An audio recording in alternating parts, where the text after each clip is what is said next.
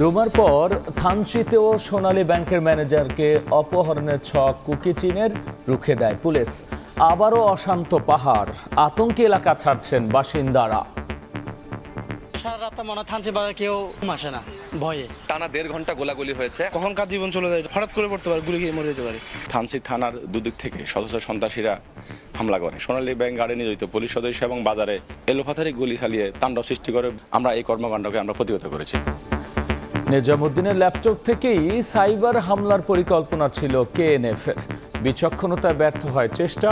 দুই দিন পর স্বামীকে ফিরে পেয়ে আবেগাপ্লুত স্ত্রী। অনেক খুশি।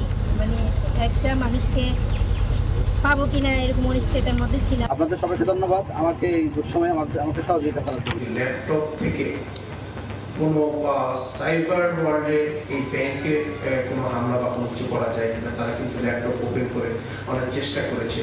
আজকে থেকে সাহসী অভিযান পরিচালনা করব। দেখছিলেন প্রধান শিরোনাম। সন্ধ্যার সময়ে সঙ্গে আছি আমি গোলাম রাব্বি। এবার অন্যান্য শীর্ষ সংবাদ। লঞ্চে পুরানো চিত্র। ঈদ যাত্রায় ঘরমুখী মানুষের ঢল, পদ্মা সেতুর কল্যাণে নতুন রূপে সদরঘাট, বললেন নৌ প্রতিমন্ত্রী। ট্রেন, বাসে চিরচেনা ভোগান্তি না থাকায় স্বস্তি। বিএনপির আন্দোলন শেষ হয়ে যায়নি। দাবি বেগবান করে সরকার পতনের হুঁশিয়ারি মির্জা ফখরুলের।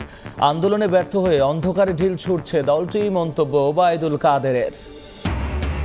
চাঙ্গি বিমানবন্দরের আদলে থার্ড টার্মিনালের নির্মাণ কাজ প্রায় শেষ।